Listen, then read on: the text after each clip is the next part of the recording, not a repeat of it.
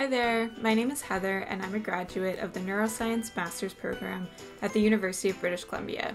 Today, I'd like to tell you about the work of Dr. John Dick. Dr. John Dick is a 2020 Canada Gairdner International Award winner for his pioneering work discovering leukemic stem cells and his insight into treatment and diagnosis for acute myeloid leukemia. We think of cancer as a blob like tumor, full of generic bad cells. But it's not quite so simple. Dr. John Dick is a scientist who discovered that not all cancer cells are created equally. They are organized in a hierarchy, with a rare and powerful cell at the top cancerous stem cells. Stem cells can both generate new cells and self renew, meaning they can create more of themselves.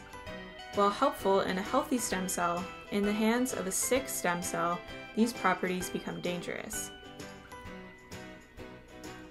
Dr. Dick studies acute myeloid leukemia, or AML, an aggressive form of blood cancer.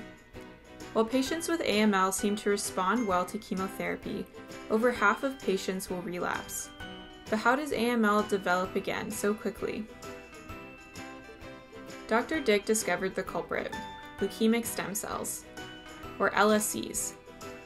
LSCs can remain dormant for long periods of time and survive chemotherapy, after treatment, LSCs can begin generating new cancer cells and restart the cancer growth.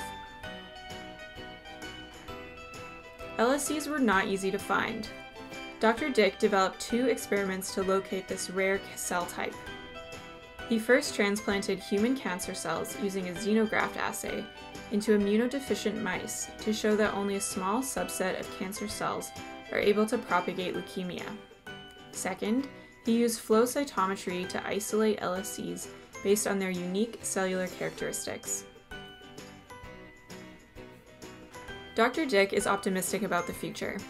Thanks to his research, we now know the root cause of why AML patients relapse and have a clear sense of which cells to target cancerous stem cells. Thank you for listening. Don't forget to check out the comics and articles for the other award winners too. Bye for now.